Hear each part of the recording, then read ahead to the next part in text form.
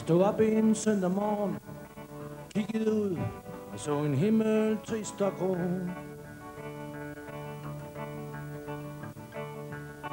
Fik mig vasket lidt, en kam igennem håret. Skægget lå jeg bare stå.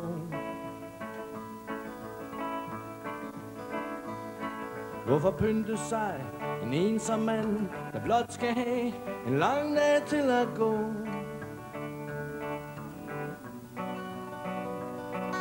Og for øvrigt knækket snørbåndet, det var lige det, der manglede. Jeg fik nok. Jeg sprang ned ad trappen, ud på gaden. Vinden kom og ruskede mig i nakken. Jeg blev hurtigt kølet af, slog kraven op og fandt den sidste mønt i frakken. På en kaffebar i nabolaget sad jeg lidt og lyttede efter snakken. Og det er svært at være ene, når man ønsker, man var medlem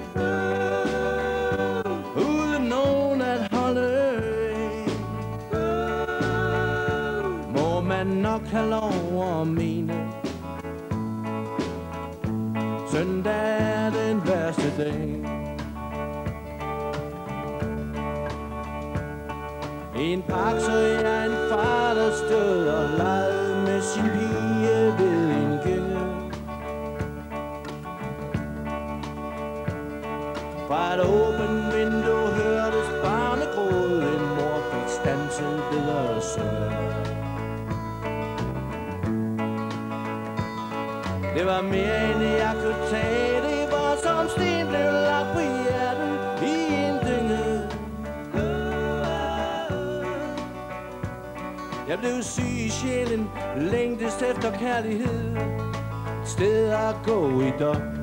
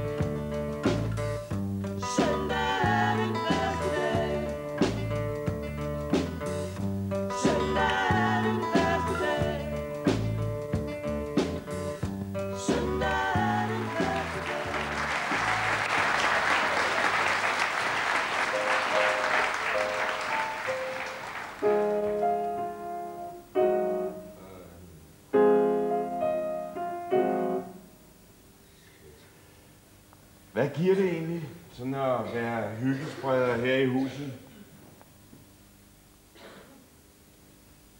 Forløb så koster det noget mere, end det giver du.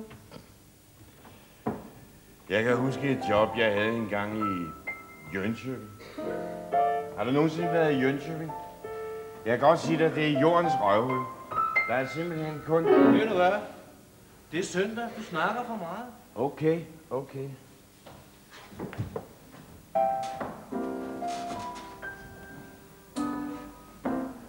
Stars. Kan jeg ikke få en øl på klods, jeg betaler i morgen? Okay, så lad gå. Tak.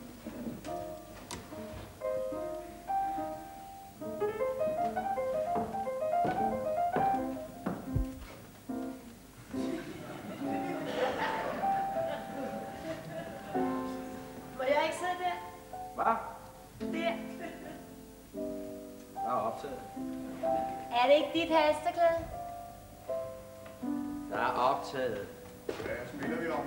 Lad os lige se, hvem der vinder først. Jo. Hvorfor må jeg ikke sidde ved siden af dig?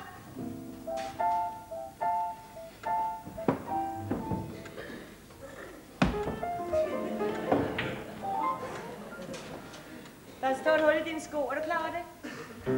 Ved du hvad, jeg er træt, og jeg er flad, og jeg har lige købt en bajer ved et bord. Men der står sgu ingen steder, man skal dele bordet med nogen. Det her er en offentlig restaurant, og jeg har lov til at sidde, hvor jeg vil. Ikke det er du. Hvorfor? Fordi ved siden af mig er der optaget, og jeg har ret til at sidde alene. Hvad er det for en ret? Det her det er et værtshus, det er ikke en dagligstue med farstol foran fjerneren. Jeg bor her nu, det er mit bord. Åh, hold da op med at Skal I sætte dig der? Nå, du har ikke fået set på sangen endnu. Nej, det er selvfølgelig også kun tre måneder siden, jeg sendte den til dig. Ja, ja, jeg ved godt, at det er 10 år siden, vi var... Hvad for noget? Er den for fræk? Den er sgu da lige ud af landvejen med. For privat, jeg ved. Nej, det gider jeg ikke. Det har jeg også sagt til dig. Det er ikke mig mere. Farvel. Det må I selv finde ud af, der bor nok. Har han lov til det der? Han har måske ikke så meget andet, du. Men i går gav han øl. Går bare i går, skat. Du kan da sidde der nu. Nej, det skulle lige meget.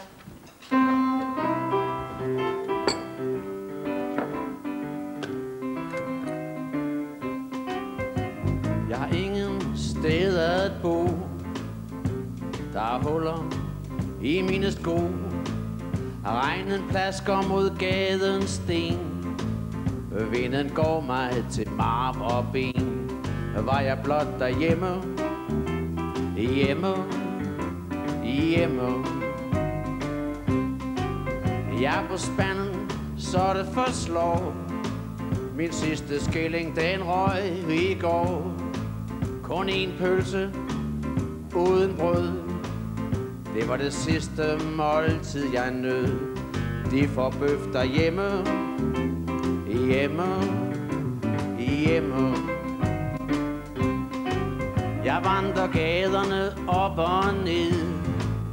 Driver planløst fra sted til sted. Jeg kender ingen af flad igen. Nok en nat skal slæbe sig hen.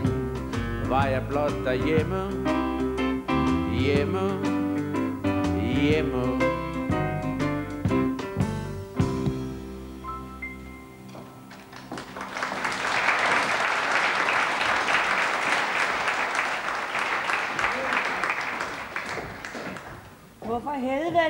På vej et andet sted hen? Hvem? Drengene. Du, øh, jeg tænkte på, om du nogensinde har været på Jerseyøerne. Ja, Jersey, hvad for noget? det minder mig bare om noget. Du kan ikke sejle uden vand. Er det ikke rigtigt? Det lyder sandsynligt, jo. Se nu. Altså, hvis man siger til dem, de er skide søde, ikke, så bliver de kolde i røven og går, ikke? Og hvis man giver dem ret, når de siger, åh, jeg er ikke noget særligt, så er det også galt. Hvad fanden skal man så sige? Nu har jeg jo været lidt af hvert. Elektriker, reklametegn, bunderøv, Underrov, jeg mund, ikke? ubådskaptajn. Det har jeg ikke været. Men skibsdreng har jeg været, ikke? Messepætter som 16-årig. Ja. Og så, så begynder man at forstå noget af livets realiteter. Og så var der det med Jerseyøerne. Hvis det er til mig, så er jeg her ikke. Heller ikke, hvis det er job. Nej, for helvede. Hold kæft. Ja. Nej, det er ikke her, du. Der er et tidevand på 6 meter. Ja. Når der kommer ind i Jersey, ikke? så er tidevandet kraftstejl, men så voldsomt. Så når det er ebb det hedder det derovre. Ebb. Så står damperen på bunden af havet. Ja. Folk de kommer ud i gummirøjser og små spande for at samle gødning til deres haver. Det der plankton. Hvad satan i helvede?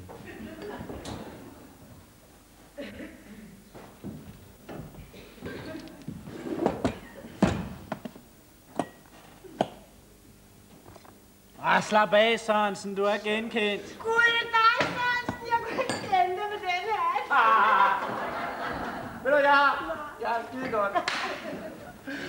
Jeg har lidt til dig, du. Er det rigtigt? Jeg har lidt til halv. Det var jo sød.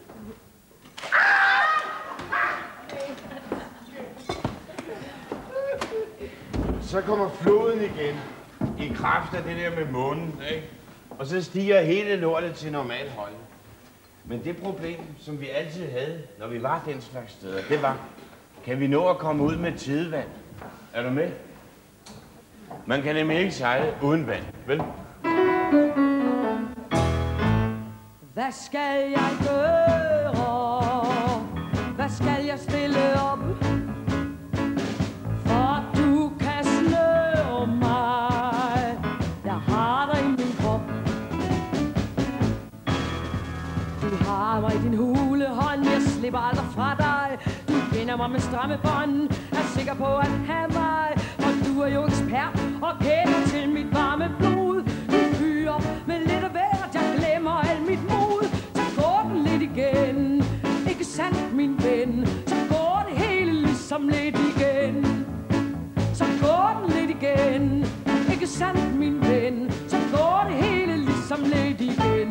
Hvad skal jeg gøre?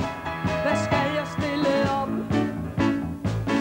For du kan slå mig. Jeg har dig i min krop.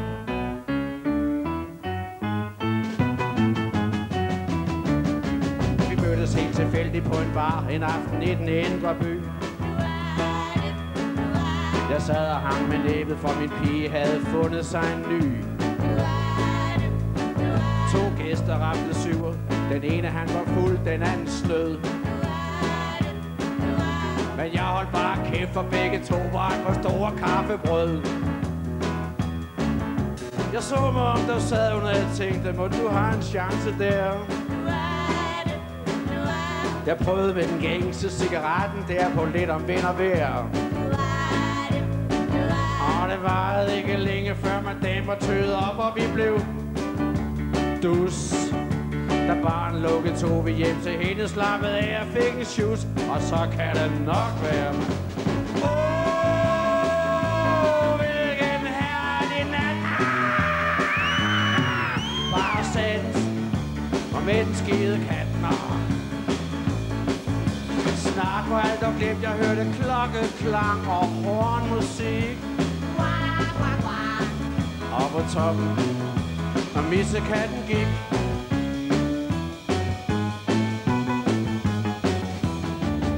Jeg vågnede næste dag, der var lidt muler i kasketten fra i går. Forsigtigt stod jeg op, fandt en flaske af med proppen, fik en tår. Jeg ordnede en bakke med lidt lækkert, sagde godmorgen og fik et smil.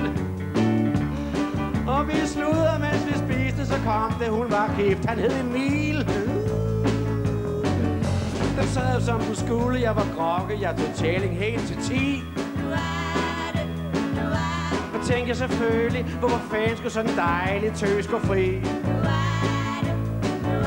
Vi skilte som vi mødtes gode venner, tak for alt, og jeg stod af.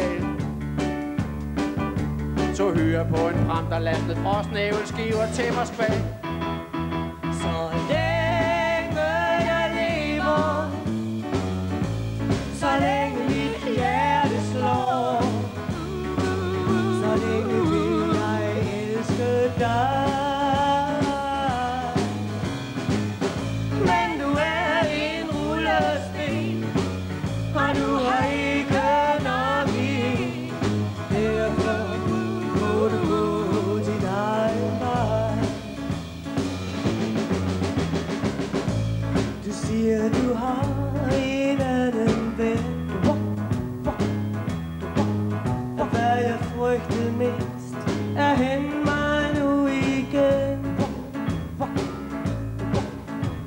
Og du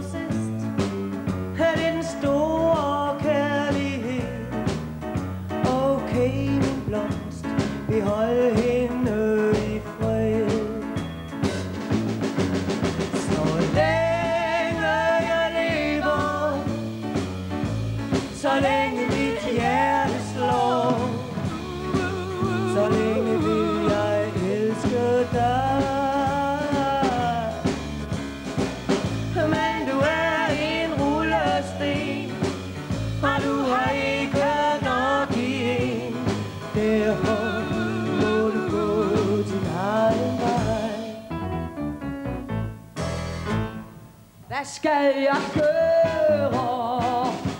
Hvad skal jeg stille op? For at du kan snøre mig. Jeg har dig i min krop. Jeg prøver gang på gang at flygte siger til mig selv At du var ikke det, jeg søgte. Nu er det slut. Farvel, så ser du på mig. Tag min hånd og visker i mit øre. Begynder på den kære som jeg vil høre, så går den lidt igen. Ikke sandt, min ven? Så går det hele ligesom lidt igen. Så går den lidt igen. Ikke sandt,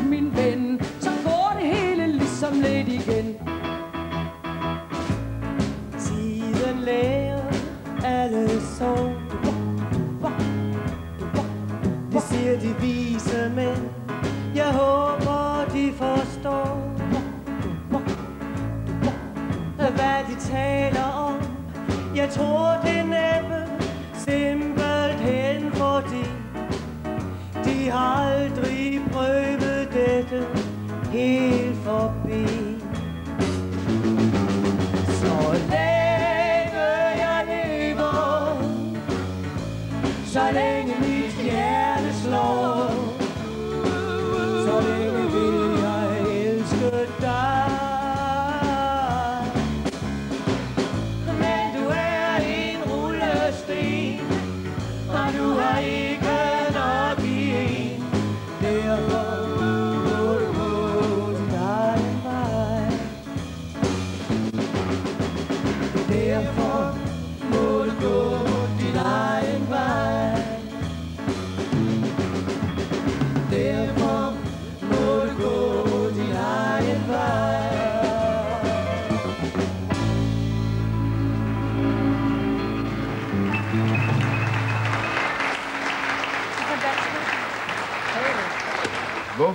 tv her?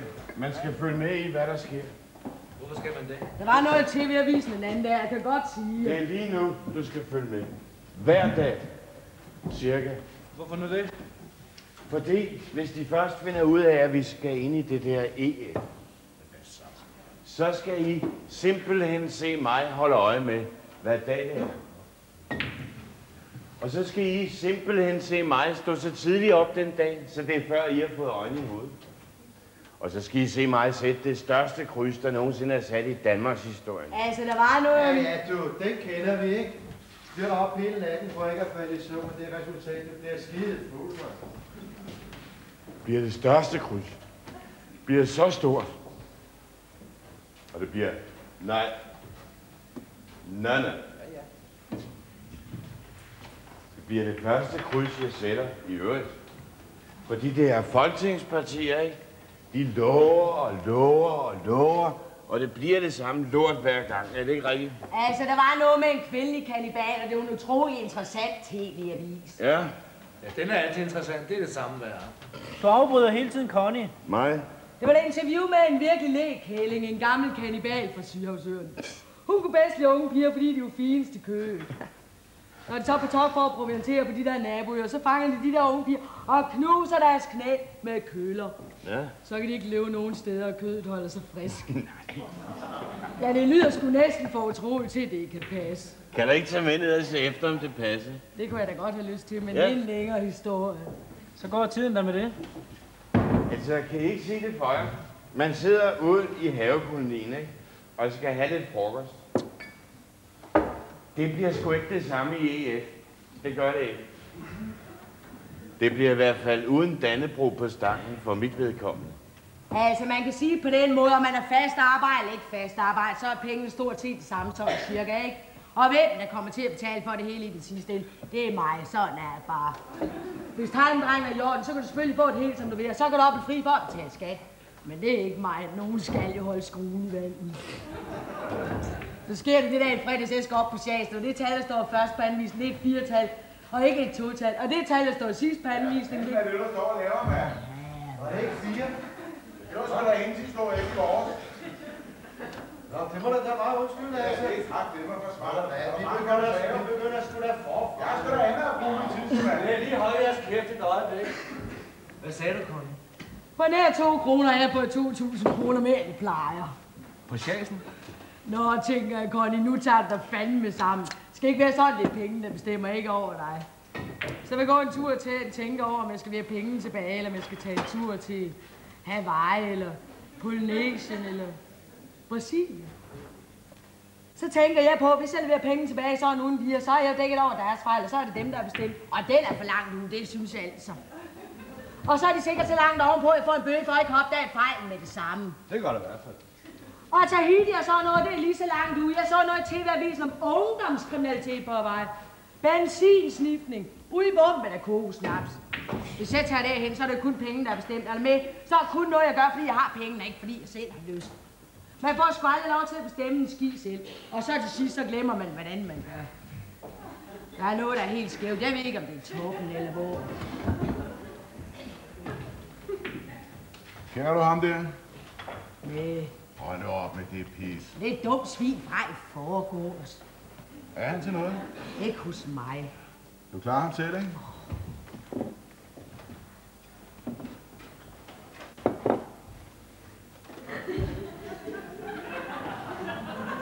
Ja, du var i gang med et eller andet, Conny. Så går jeg rundt og tænker og spekulerer til det brage, og så går jeg ind på et værtshus for at få en enkelt for at tænke endnu mere. Jeg går ikke hjem, for jeg skal stå helt frit. Så får jeg en til. Så dukker der en fyr op, så får han en. Han fortæller alle mulige historier. Så dukker nogle andre op og fortæller alle mulige andre historier. Og de får alle sammen mindst én. Det er virkelig alvor. Jeg kan ikke komme i tanke om, hvad der er, jeg gerne vil selv. Der er noget, der er helt galt i Danmark. Jeg vil ikke hjem, det ved jeg. Og jeg kommer ikke til Tahiti. Og jeg ikke lade penge tilbage. Jeg kan ikke, for jeg har brugt dem. Jamen, det er det, jeg er mest stolt over. Det er mig, der har brugt dem. De kan ikke røre mig for det. Det er mig, der bestemmer, jeg skal under administration, eller hvad det er, nu kalder det. Så jeg skal op på chefen hver dag for nu af. Det er ligesom meget fast arbejde.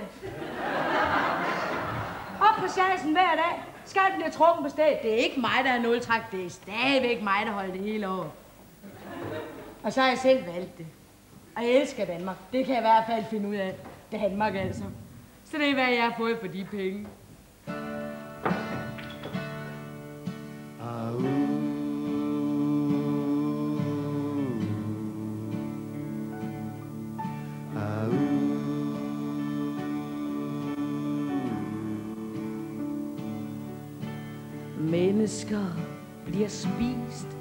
I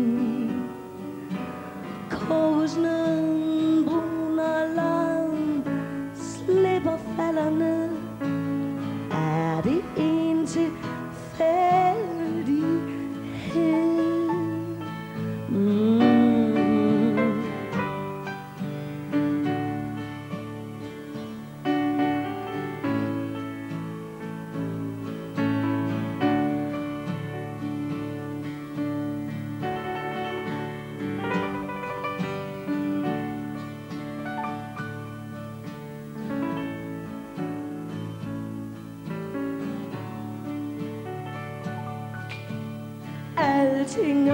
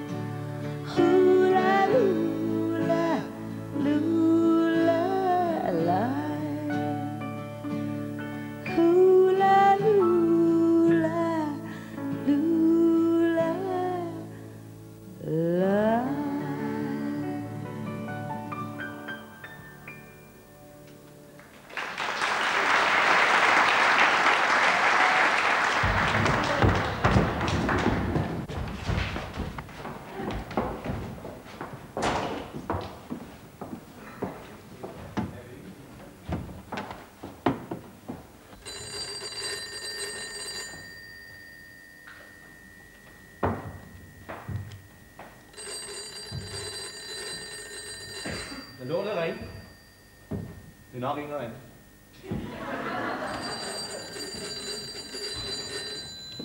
Der er aldrig fred for det lort, simpelthen.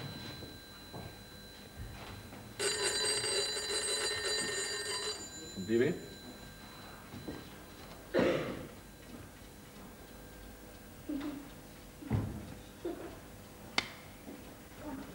Skal jeg vise jer en anden trick, jeg kender? Amerikansk håndbillard. Tre bander, sort oplæg, rødt i nakken og kejler. Så spiller som ganske ung mand i Texas, og den er der bare hver gang. Vil du bare med?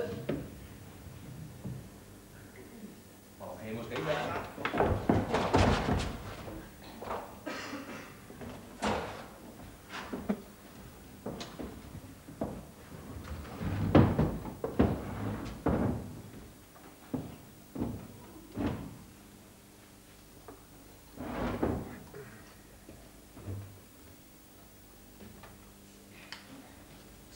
Den tjeners øjne? Det er sgu da pianisten, ham der. Han er en del af inventaret, har du. Kender du ham? Jeg har da set ham før. Han stirrede så underligt. Han kan garanteret se, at vi har dårlig samvittighed. De ser sgu meget normale ud, du. Måske er det også bare mig, der er overnervøs. Nu skal vi have noget at drikke. Jeg skal ikke have noget. Det er vi nødt til. Nu er vi jo gået herind, ikke? En øl og en vand, du. Jeg skal ikke have noget. En øl og en vand. Hvorfor kan det ikke også bare være helt ukompliceret? Det er det sgu da også. Sådan da.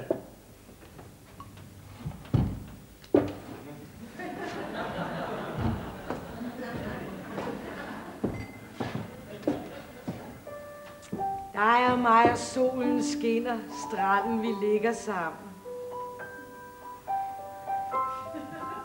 Vi vil altså brække os alle, du. Alt det romantik. Måske er det også bare den forkerte aften. Du er jo helt sådan her, ikke? Jeg skal også hjem og have sendt babysitteren afsted. Slap nu af. Din kone og mine børn, det bliver aldrig til noget ordentligt. Ved du hvad? Nu går vi altså ud og finder en mørk baggård. Den aller sorteste af dem alle sammen. En gang til. Ja, hvorfor ikke? Skal det være på samme måde? Hvorfor snakker du egentlig om min kone og dine børn? Skal det være helt på samme måde? Min kone er sgu da ikke noget problem. Det er da kun dine unger. Sig nu, hvordan det skal være. Jeg kan gøre det med hånden. Så gør det heller ikke så ondt.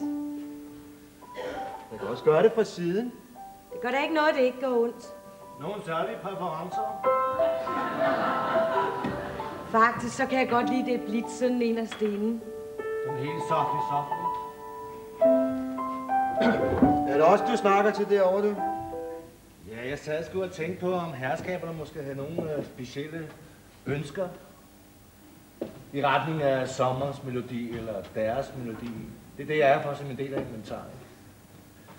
Det er fuldstændig lige meget, du. Hvad siger fruen? En lille sang måske? Kom bare med. An der schönen blauen Donau.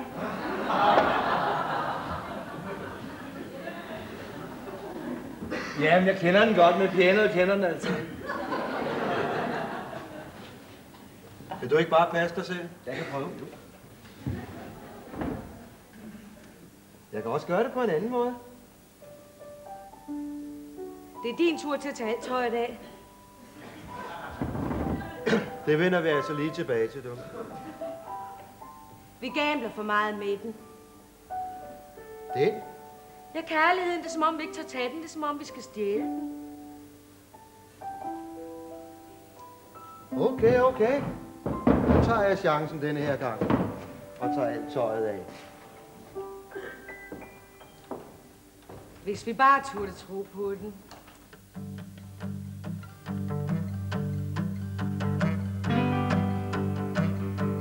To mennesker på en strand To hjerter i brand Sol, blæst, sand og vand En kvinde og en mand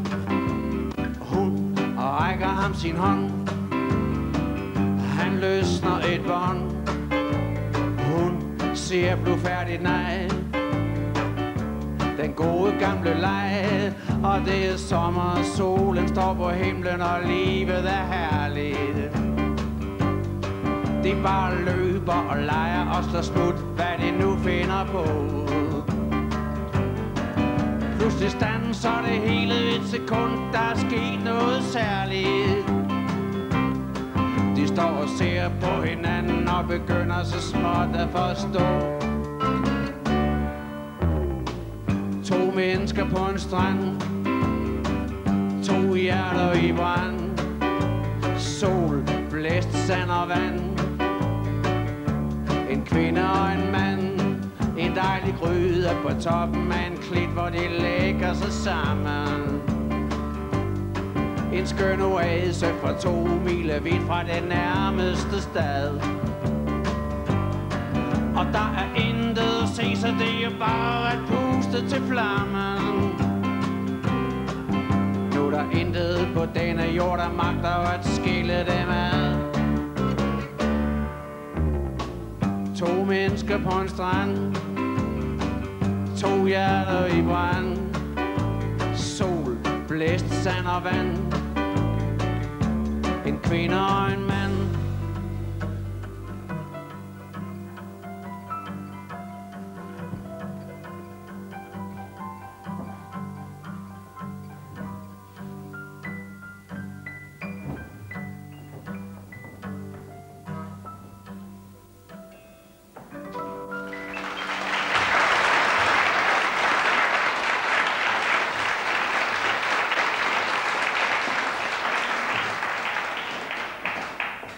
Hej, hej. Hej, Lone. Ole, er der ikke noget at lave herinde? Ikke en skid, du. Nå, jeg tror, der står jeg, der har alle mine kunder. Jeg har en afløser på. Jeg kan godt lige nå en hurtigt, du. Jeg har også taget en stor sæd med, som du skal veksle, så havde jeg en god undskyldning.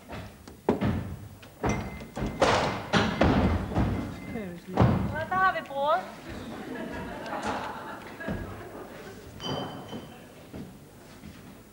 Lars med dig, bror.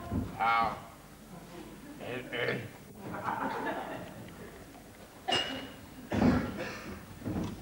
Øh, Ikke ham, der søger sang. Det var jo. Hvad er han siger? Han spørger, om det er dig, der skriver sang. Han har nemlig en sang, han godt vil have skrevet. Så ved jeg, udsætter sig mig. ikke? Det plejer at komme ind på et gammelt kroner. Den er kommet ikke, du. Så er det kommet. Nej. Nej, han er her ikke. Det er til dig. Det er lige bror fra dig, ikke? Han taler måske ikke så tydeligt, men han er gammel bokser, du. Den er skide på. Den skal ikke komme her. hun må spytte mig. Det gider jeg ikke. Det gider sat mig ikke. Du, øh, jeg ved ikke, om du har lagt mærke til, hvad der sker med de gamle huse her og også ude på Christianshavn. Jeg lægger sgu ikke mærke til noget, du. Nej, det vil jeg godt tro.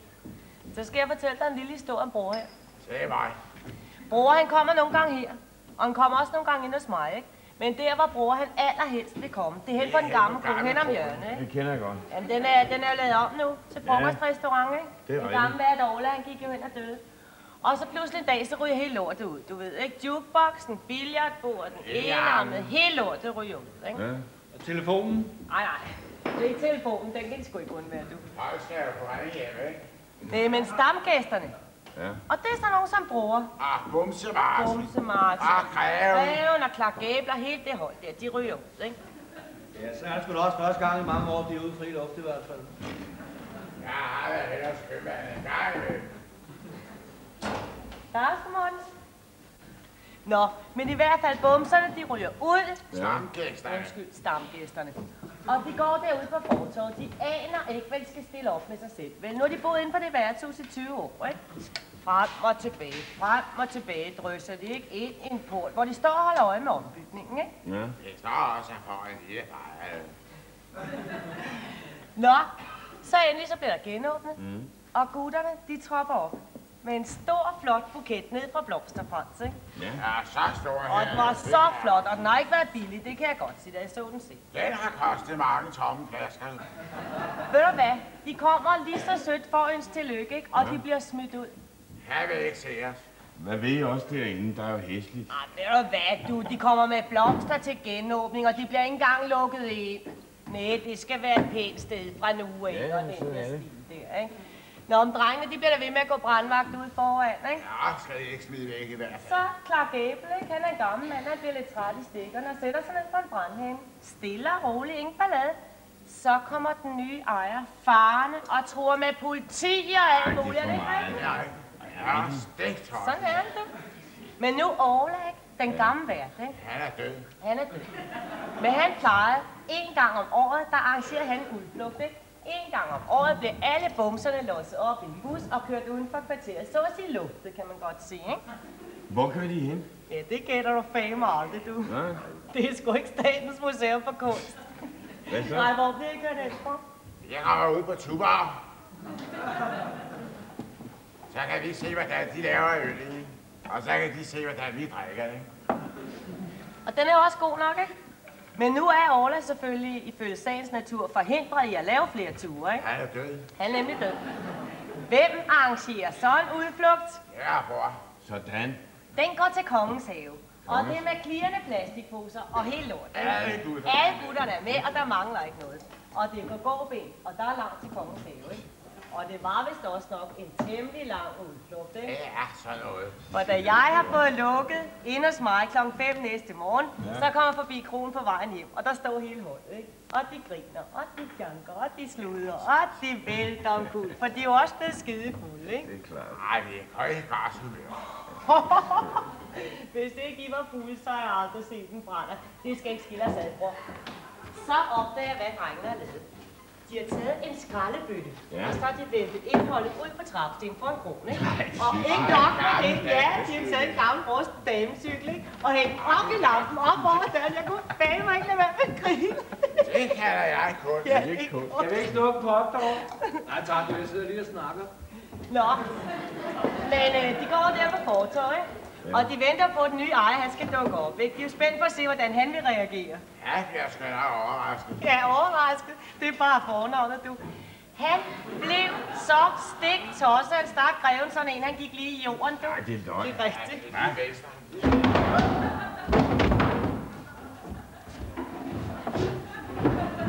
Hvorfor fanden er han nu begyndt at komme herind? Jeg har også lov til at være. Hvis ingen er bedre herinde, du. Nå, men når bror han så gerne vil snakke med dig i dag, ikke? så er det fordi, det lykkedes dem at få den nye ejer sat fast. Sat fast. Sat fast i to timer i forgårs. Hvordan fanden kunne det gå Ja, til? det foregår på den her måde. Clark Gable, han kommer hjem herfra i forgårs, da I har fået lukket, ikke? Så kommer han forbi den gamle kro på vejen hjem, og hvem ser han der?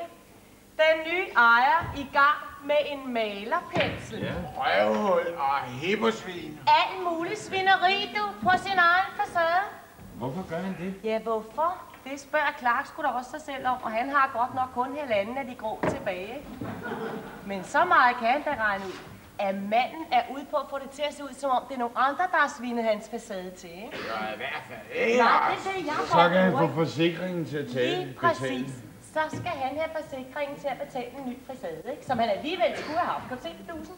Nå, men det skal han ikke slippe heldigt fra, siger Clark til sig selv, ikke? Ja. Smider alle sine fordomme til side og stryger direkte hen og vækker en strømmervogn, der hænger sig over hen på En hjørnet. strømmervogn? Ja. Clark? Hvad siger de? Det bliver pisse De var skide sure over at blive vækket, Det ikke? vil jeg tro. Men de kan jo godt regne ud, at det må fame være alvor, når sådan en som Clark kan overhovedet betale til dem. Ja, ikke? det er klart. Så det var den historie. Hvad skal jeg bruge den historie til, Lone? Manden, han mister da sin bevilling.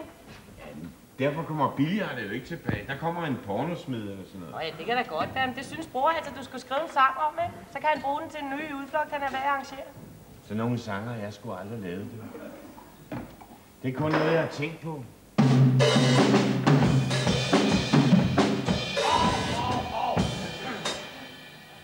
Hvad fanden laver du, mand? Jeg skal bare spille en sang. Jeg skal bare spille en sang. Så skal der sgu da spille i takt.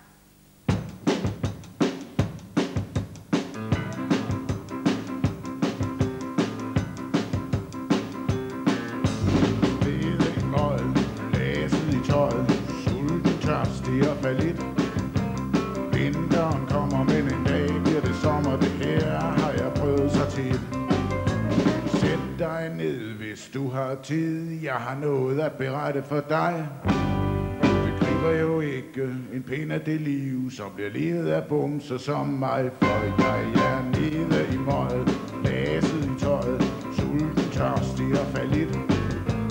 Frakken er stampet, sprutten fordampet, har sig til. så. Jeg kan gå hvorhen jeg vil, ikke bare følge med ligesom du. Jeg er bumser vor herre, men ikke for dig, og min tromme den har jeg endnu, for jeg er nede i mål, baset i tolv, sulten, tørstig og fallit.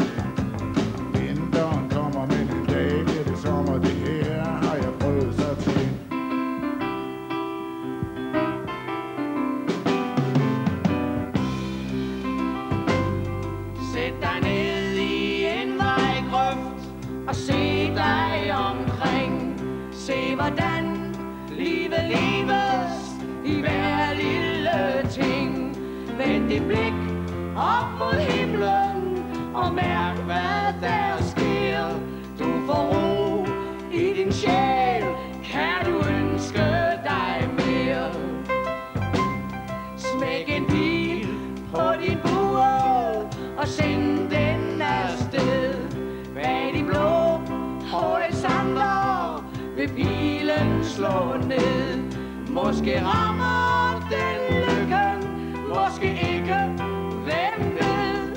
Spænd din bue igen og send en ny pil afsted.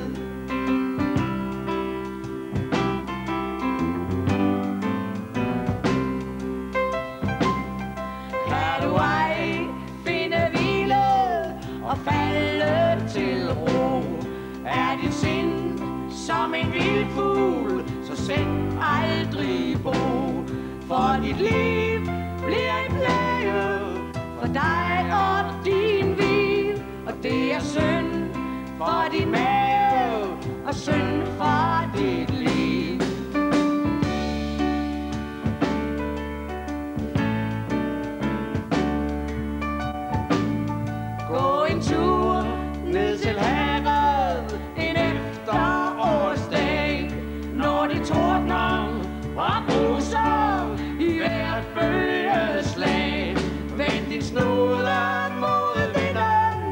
og slus kraftigt ind, gamle ven, dine sår forlader dit sind. Vend din snude mod vinden, og snus kraftigt ind, gamle ven, dine sår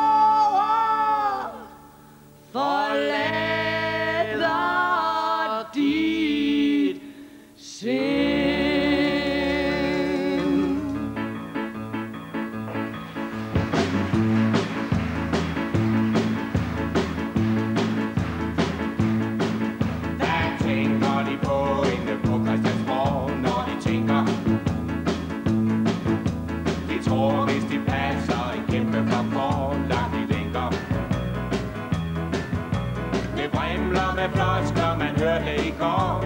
Hvad med et sprog, hele folket forstår? Der er jo andre, trods alt, der har lært alfabetet. Tålmodighed er jo en dyd, hvis man gider at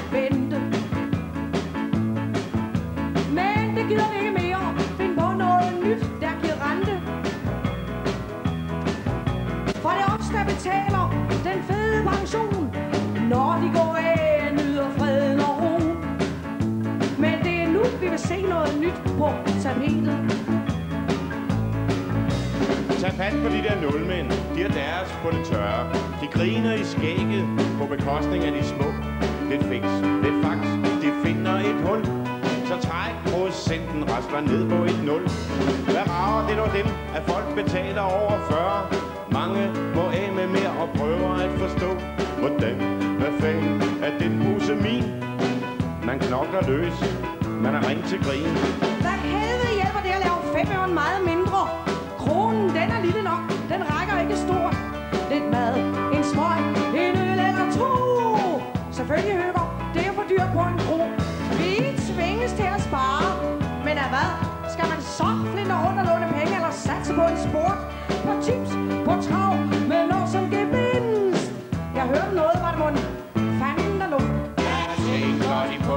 Inde på Christiansborg, når de tænker Hvis de tænker, De tror, hvis de passer en kæmpe flok for langt de længere.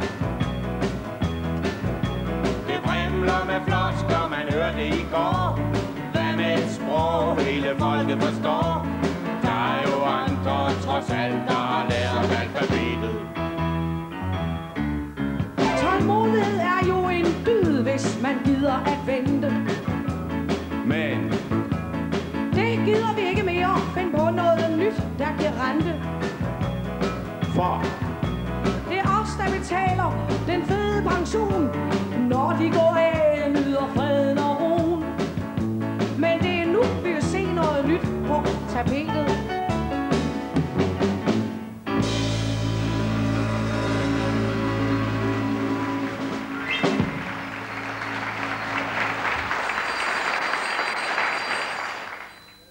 Hallo?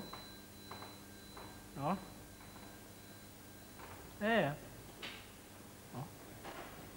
Okay. Timen er nær tom, du. Timen er nær min søn.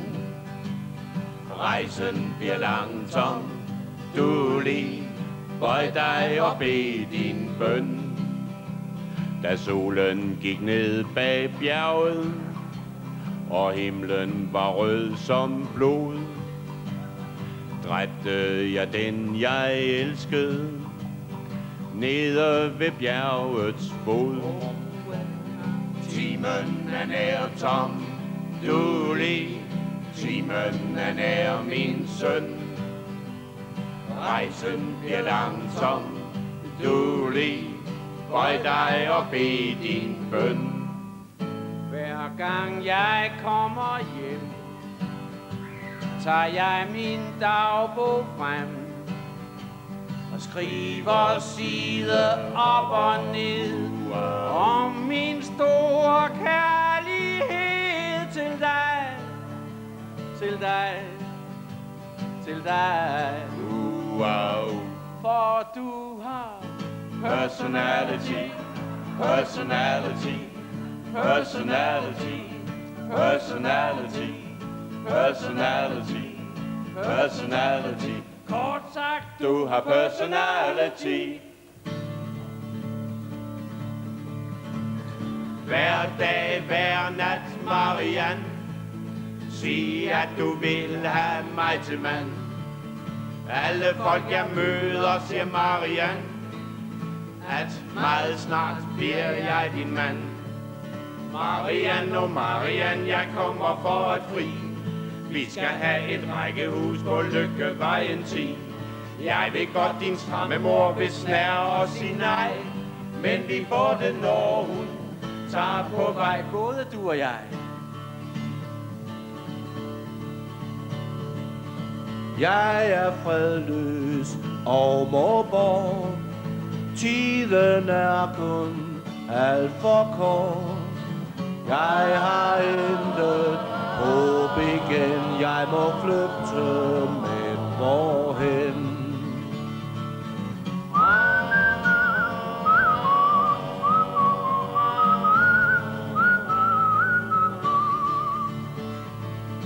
Altid flygte, aldrig fred uden mål fra sted til sted.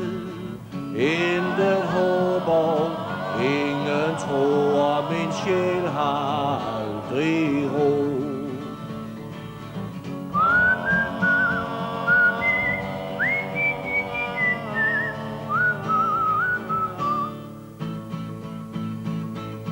Midnat, søvnløs ligger jeg hjemme Tænker bare jeg kunne glemme Blå dør, hvad er det du vil gemme?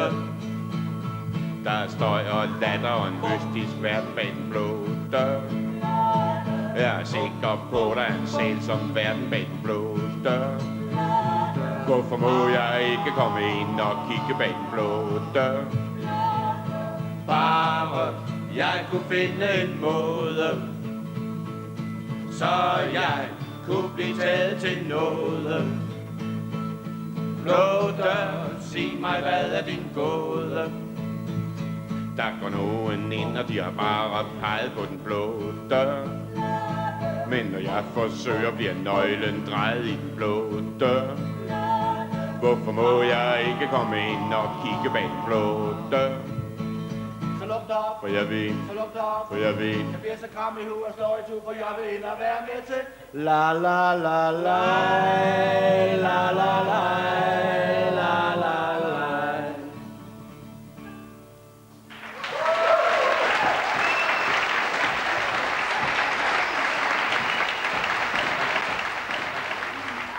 Nå, men så holdt jeg altså op med Ford Jacks for ligesom at give det her Beatles en chance, eller hvad? Vi holdt i hvert fald op i 63. Efter syv fede år med Fort Jacks, så var det slut. Og det var mig, der sagde stop. Teoretisk set, så kunne der vel have plads til både jer og så Rolling Stones, kunne der ikke? Jeg gad ikke rejse mere. Man kan dø af det lort. Man får kun en livsvejl for at spille falsk. Der var nogen, der ikke kunne tåle succes. Det skulle gå for stærkt lige pludselig. De mente, at vi skulle holde op med Vorsebølle forsamlingshus og den slags. Vi skulle til de store steder nu, ikke? Berns Salonger, Carnegie Hall. Ja, de mente det skulle. Ja, vi har haft en meget stor fordel. Det vil ikke kunne forstå, hvad jeg stod og sang, for eksempel. Det kan være meget godt med selvtillid, men der skal fandme også være noget selvkritik. Jamen, ikke for meget i den her branche. Jeg kan huske mit første job bagefter. Det var i Sverige. Jönköping, Nyköping, Linköping. Hyggepianist, ikke? Og store hoteller. Så rigtig langt væk hjemmefra, så der ikke var nogen, der lagde mærke til det. Jeg havde ikke spillet, siden jeg var 16, men det sad sgu i fingrene. Jeg kan huske, at jeg sad i toget på vejen derop og lavede en liste over de numre, jeg kunne huske. Det var fandme ikke mange. Men det gik sgu endda. Der er stor udskiftning i sådan en bar, ikke? Og der er alligevel kun et par stykker, der hører efter et par sekunder ad gangen. Ja, du, det kender jeg sgu godt. Den første nat der, jeg kunne ikke falde i søvn. Jeg havde fået en pæn lille pind i kakkelovnen, men jeg kunne sgu ikke falde i søvn. Ja, jeg kan huske, jeg lå og talte blomster på tapeten. 1605 var der. Der er ikke det hotel i Norden, jeg ikke har kedet mig på. Ja, du, det kender jeg sgu godt. Ja, det er jo til synligheden tilfældet. Ligegyldigt, hvad fanden i helvede jeg fortæller dig. Så kan du kraftigt blive fri.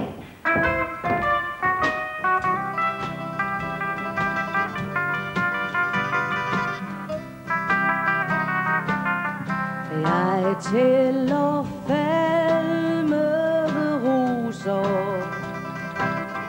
her på mit tapet. Falmede roser, hvad er det der er sket? Nu har jeg ventet så længe. Er du mundvred? Hvad med at ringe og blot giv mig besked. Jeg tæller falmede roser Tæller, tæller igen. Får det til de tusind Og de seks hundrede og fem. Du ved, jeg savner dig. Skynd dig nu hjem til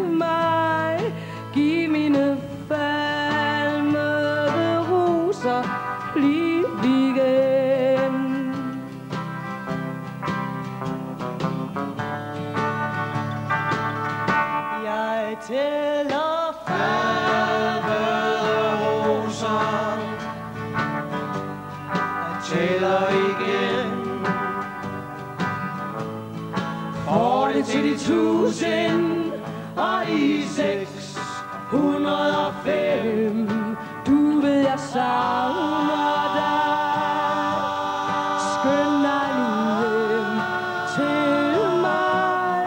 Giv mine falmede roser liv igen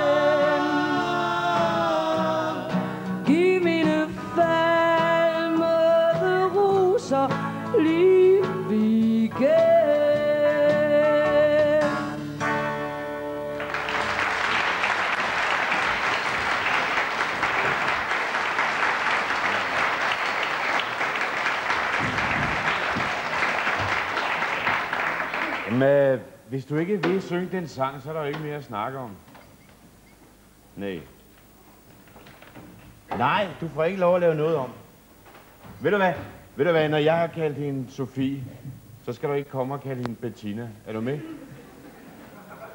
Ikke for kul og grønne skove, du. Farvel.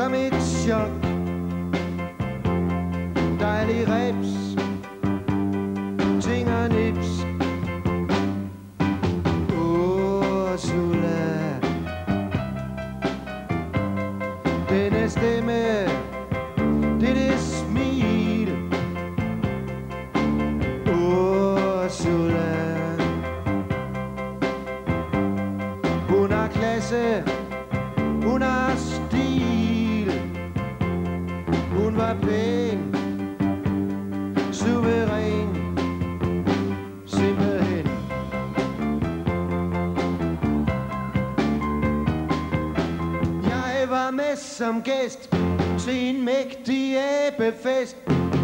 Havde høvlet omkring med en pige, der dansede som en hest. Pludselig stod hun der, glem var de ømme tær. Jeg tog mig sammen, gik hen og sagde, dag jeg er Kaj, og så ringede klokken, da hun svarede, Ursula. Denne stemme,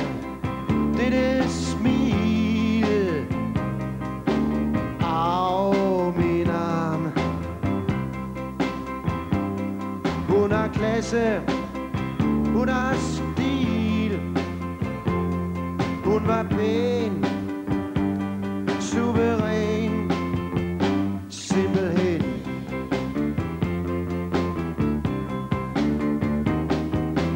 Varm som en vulkan.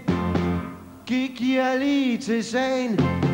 Fyret op under gilden og charmet løs som parafan Hun var med på spøjen. Jeg tænkte, det her er løgn. Det gjorde Fred, Karl Bag, Niels Viggo og Holger skulle også det Jeg dampede hjemme med Ursula. Og jeg forstår dem egentlig ikke godt. For ærligt talt. Så ikke sådan sådan særlig flot. Men det er nu mig, mig lille Kai Hun vil have. Ursula.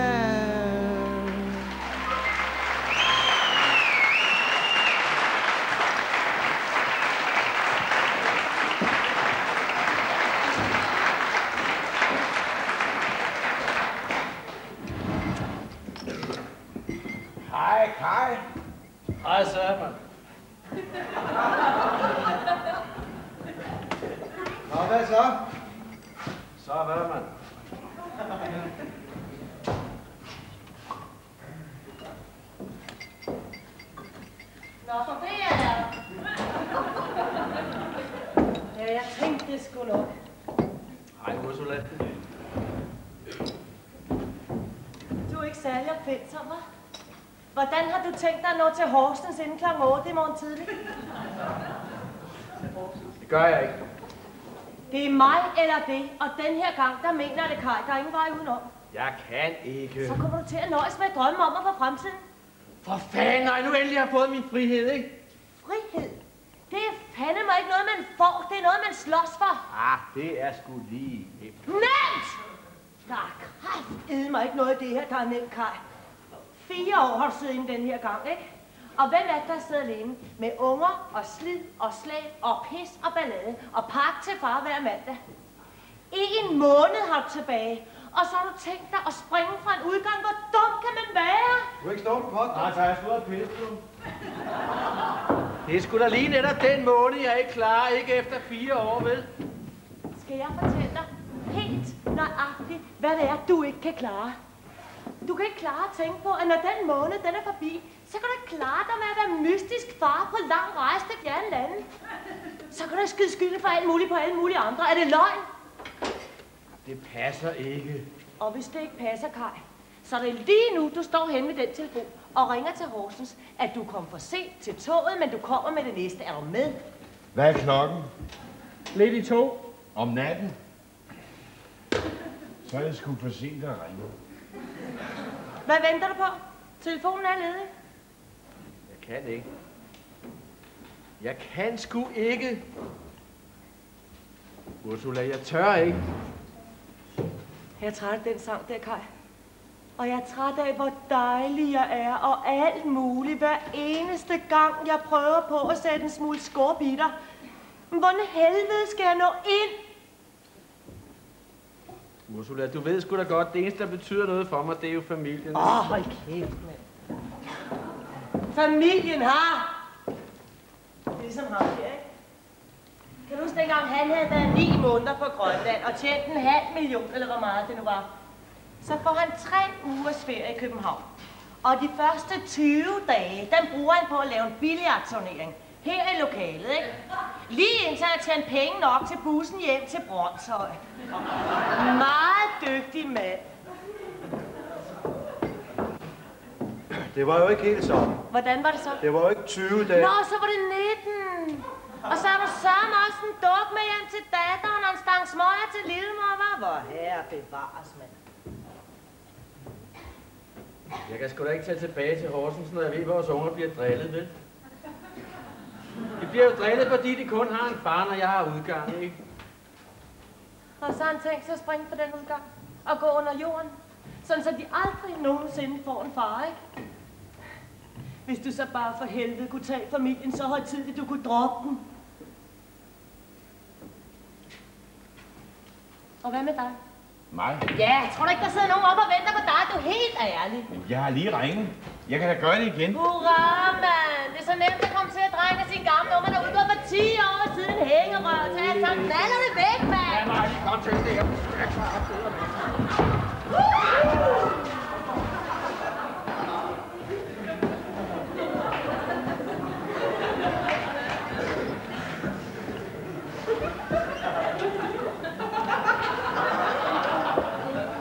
Jeg kan da bare lige prøve det. Hvordan tror du, jeg klarer de otte år, du efterhånden har siddet inde, fordi du ikke kan styre dit mindreværdskompleks? Du behøver ikke at beskytte mig, lille Kaj. Jeg kan godt selv. Jamen for fanden, kan du ikke forstå at mærke frihed, hva'? Der er jo lige meget frihed på begge sider af den fængselsmur. Det er jo ikke noget med det at gøre.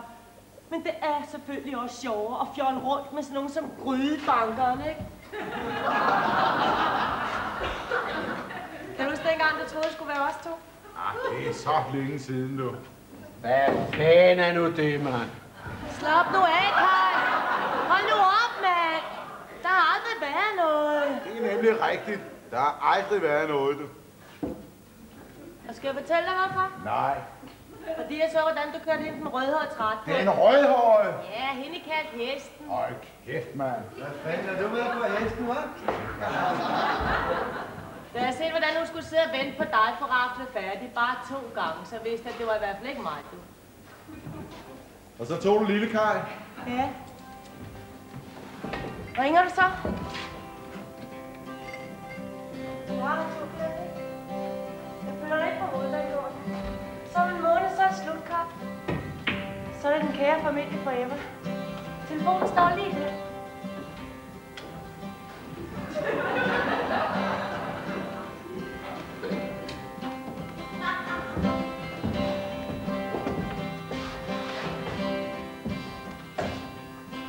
Der er en stund, jeg aldrig glemmer.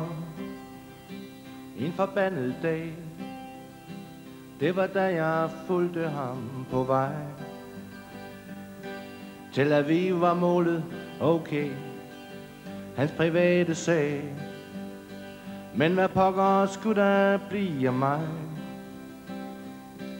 Vi var vokset op to drenge. Gik i samme skole. Og vort venskab holdt nu var vi blevet mænd. Hans beslutning kom en aften, da vi sad på vor café. Jeg tror nu nok, jeg havde følt, hvor det bar hen. Frihed er en ting, som folk må kæmpe for at få. Ellers bliver de ofte gjort til grin. Længsel efter frihed bryder hver en lås og slå. Den er hver mands eje. Din og min. Det var gået op for Carsten Levin.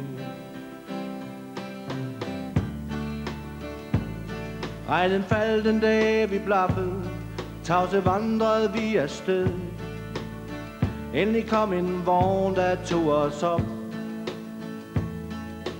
viskerne mod ruden I timevis den samme lyd. Sov en knude i hjertet i min krop.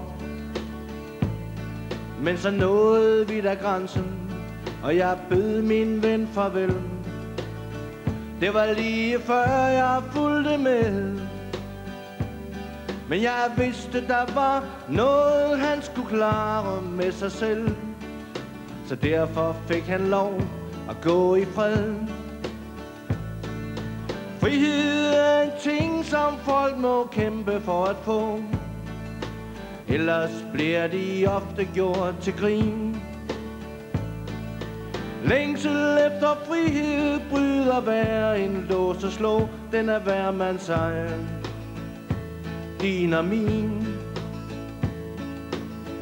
Det var gået op for Carsten Levin.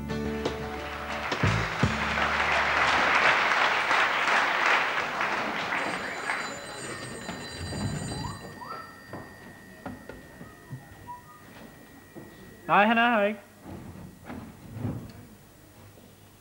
Det må være forkert nummer. Åh, det gider jeg ikke at høre på. Det var til dig. Nå, hvad så? Hvad så, hvad så? Altså, jeg læser en gang imellem Ekstrabladet og Lucky Luke og Skipper Skræk. Men derfor behøver det ikke automatisk at være mig, der står for underholdningen, vel? Kære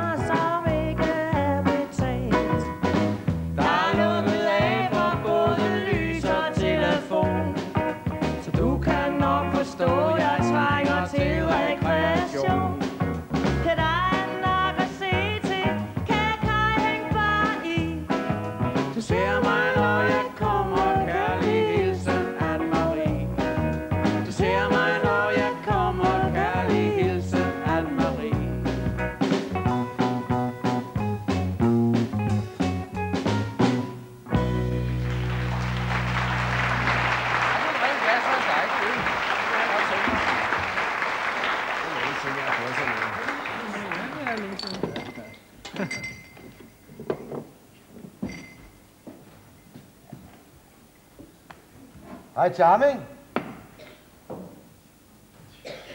Ah, ah. Du, er der ikke noget at byde i aften? Jeg er lige ude at skylle efter, mand.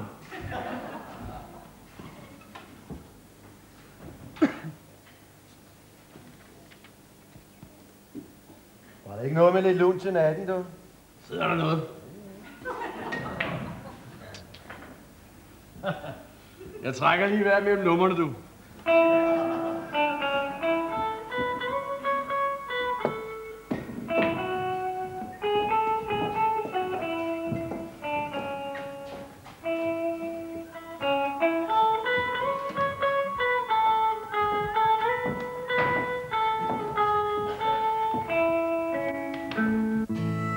Fatter havde en gammel hjemmelavet violin.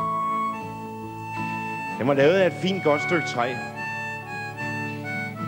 Den så måske ikke ud af så meget, men vi synes, den spillede pragtfuldt.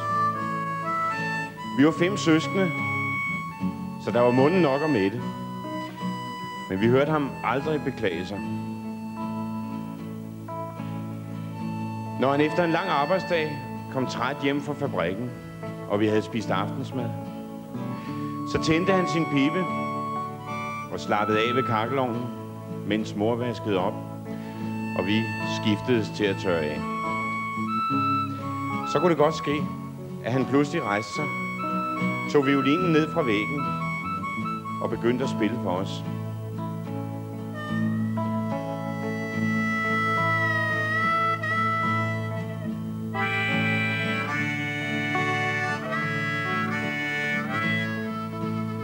De stunder der, dem glemmer jeg aldrig. Vi sad musestille og lyttede, mens musikken fyldte hele stuen. Og der var særlig en, som vi så godt kunne lide.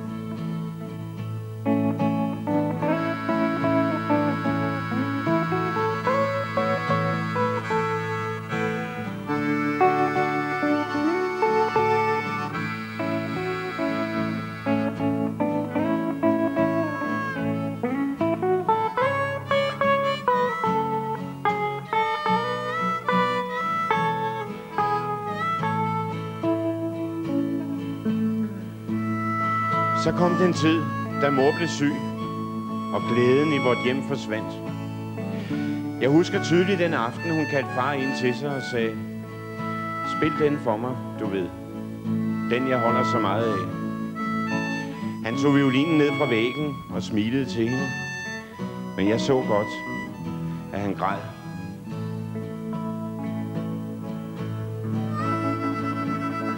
Den aften der, der spillede far smukkere end nogensinde. Og han stansede først, da mor lukkede øjnene og faldt i søvn. Vi listede stille ind i stuen, da vi så ham knæle ned ved sengen og lægge violinen fra sig på gulvet. Siden den aften spillede far aldrig mere.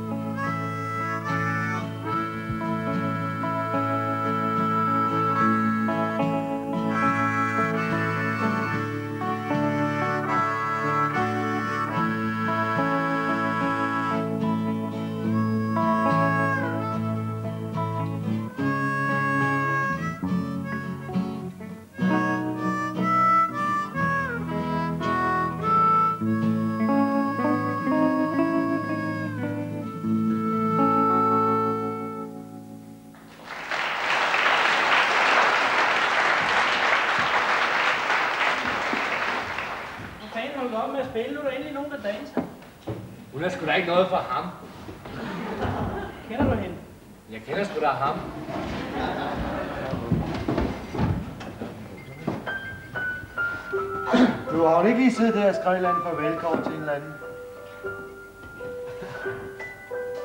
Hvordan vil hun så med ham der? Og hvor har hun tænkt sig at slå op hen af?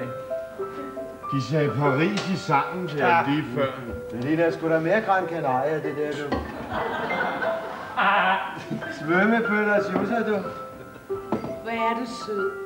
Synes du? Hvor er du sød! Det kunne sgu da også være skiferie, mand. Ikke?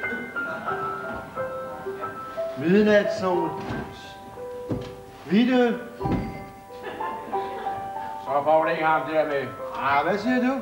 Hvad er det for noget fællesmarkedsmusik, du sidder lige af derovre? Det er sgu da international lopper, sådan er der sgu da. National Love. Kender du den der med ham tyrkeren, der kommer ind på rådspladsen, så er der rødt lys, så Nej, skal altså op. nej. Ind på rådspladsen, der kommer en tyrker, og så er der rødt lys, og Nej. Kender du den med svenskeren, der kommer til Aarhus? Ved du, hvad jeg siger? Jeg siger, ud af EF og ind med de sorte. Det mener jeg. Det er min ærlige, og oprigtige og helt personlige mening. Det skal være vores eget land. Der skal være plads til os alle sammen. Er du med? Kender I så den der med fremarbejderkone? Nej. Nej. Nej. Nå.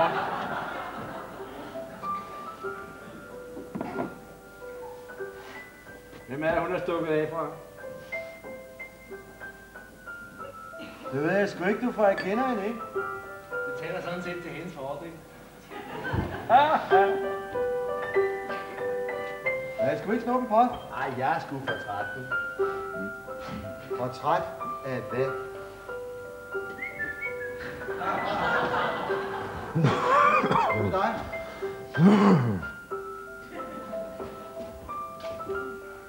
Hvem er han bor sammen med for tiden? Ja, det er sgu da ikke hende der i hvert fald, det ved jeg. Jeg kan altså ikke lide at være her. Der sker sgu ikke noget. Skal vi ikke gå alligevel? Hvorhen? Nå, er der bid?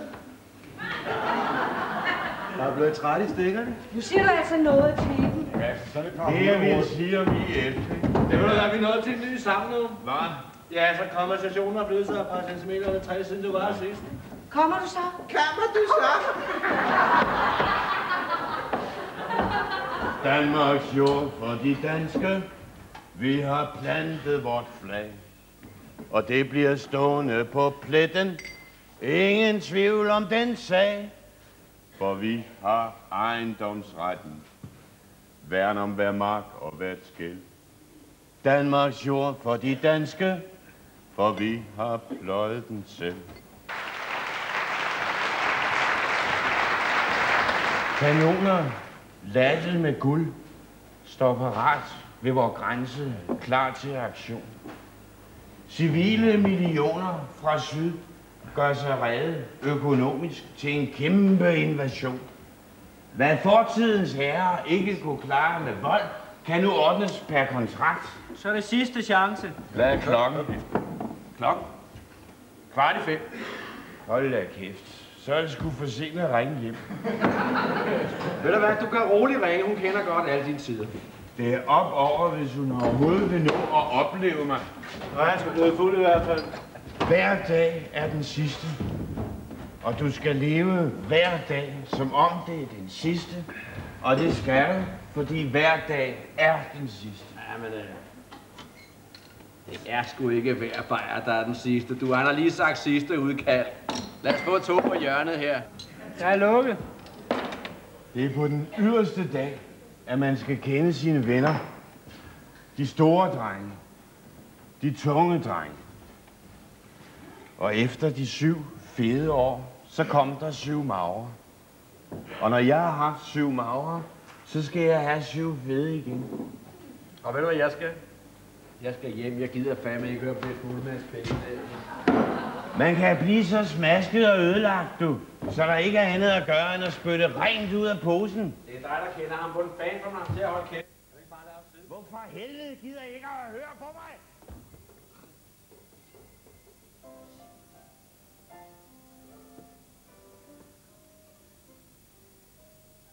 Sidder på et værtshus nær ved Gammel Strand.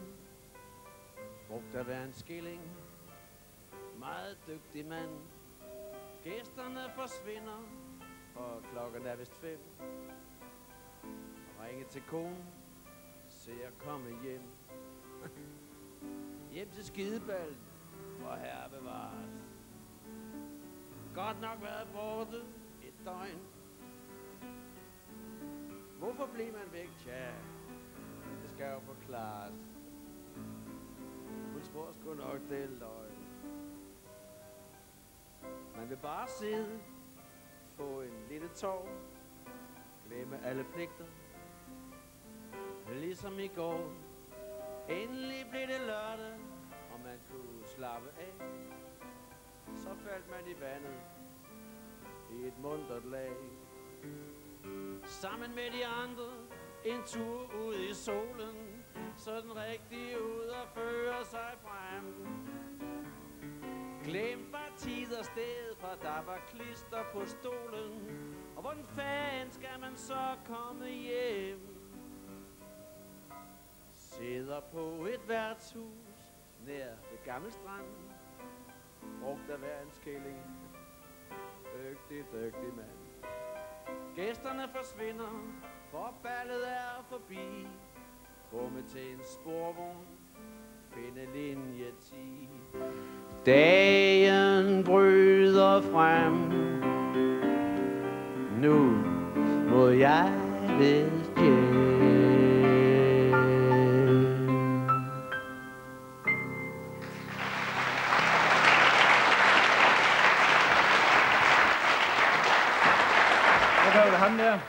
Hvad er jeg? Det er samme show hver aften. Ja. Hallo? Mm. Er nogen hjemme? Mm. Du kan ikke sidde her og sove. Hvad? Skal vi videre? Nej. Hvad så? Jeg skal videre, du skal hjem. Hjem? Nå, okay. Du kan låne min lejlighed. Okay. Anden bænk fra kanalrundfarten. Yes, yes. Og så den sang der, så gør den færdig. Kom med den i morgen, og så lad os kigge på den, ikke? Okay. Godt nok. Det gør vi. Det er mørkt. Ja, ja, klart nok. Godnat. Godnat.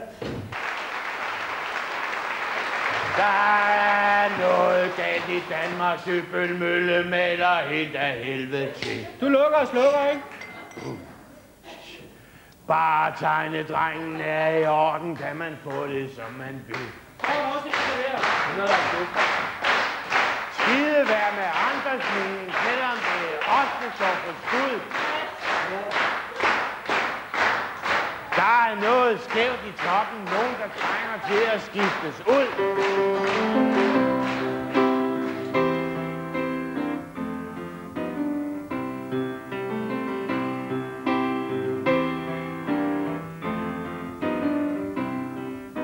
Du brokker dig og klager og nu kan du ikke mere spekulere. Så det knæer, mens rynkerne bliver flere. Der er fuger i din pande, og du er begyndt at bande siger, giv fanden havde det hele, put det hele op på skrå, men så smid det fra dig. Smæk din dør, gå ud og gå for når du ser, at græsset gror Og at skoven springer ud Hvad er der så mere? Hvad er der så mere? Mellem dig og så din Gud For når du ser, at græsset gror Og at skoven springer ud Hvad er der så mere? Mellem dig og så din Gud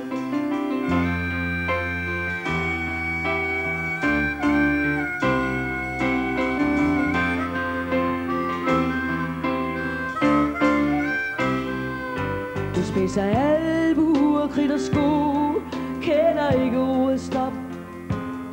Og du har ingen rest og ro. Og du står lidt for tidligt op. Du har glemt at se din kone. Hun var før din lille lone. Sidder ikke med ved bordet. Skælder ud og siger ting. Jamen så stands du nu for fanden og se dig lidt omkring. For når du ser, at græsset gror, og at skoven springer ud, hvad er der så mere? Hvad er der så mere? Mellem dig og så din Gud. For når du ser, at græsset gror, og at skoven springer ud, hvad er der så mere?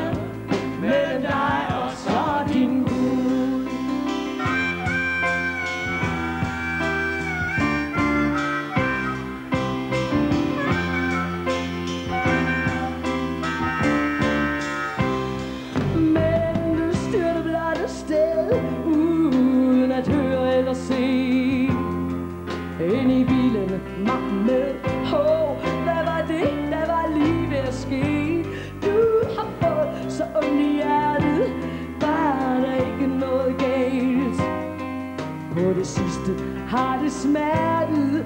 Det er ligesom du bliver kvalt. Og det er nu, og det er her Og det er